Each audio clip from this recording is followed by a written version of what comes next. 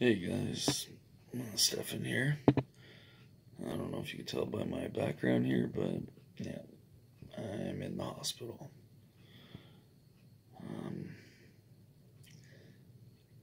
I leaned over yesterday to just grab something off, the floor and yeah, something shifted in the left side of my spine and I got stuck and couldn't couldn't stand back up without assistance. Uh, if you're wondering why my face keeps changing, I'm having a spasm right now in my back and into my leg, my left leg. So yeah, it's lots of fun. Um, yeah, I can't. It hurts so much to sit, stand, walk. Um, I can't bend at all. They played around with my meds. They've done the whole IV, but they don't use it. They've exploded my veins a couple times because I don't drink enough water or whatever.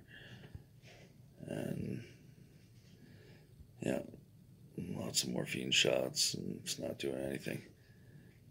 Um, uh, after two and a half years, this is the first time that I've, it's actually landed me in the hospital for any amount of time. So, uh, something's up, and I need to know what it is. They're saying at the very least they can't send me home until I can walk without pain or at least two stairs. Because uh, when I get home, stairs to get in my house, stairs to get up to my room. Um, let's say I'm hoping for a CT scan tomorrow. Uh, yeah, this is not fun. I just hope that their answer is not just medication because it's clearly not working. Think I take some pretty strong stuff, and they've been giving me some pretty strong stuff. And my pain, it's not really, it's not getting any better. So, yeah, hopefully, make fingers crossed. Hopefully, I can get some pain relief, or at least get some answers. Um, who knows? Maybe they'll end up maybe it'll end up uh, upping my treatments again.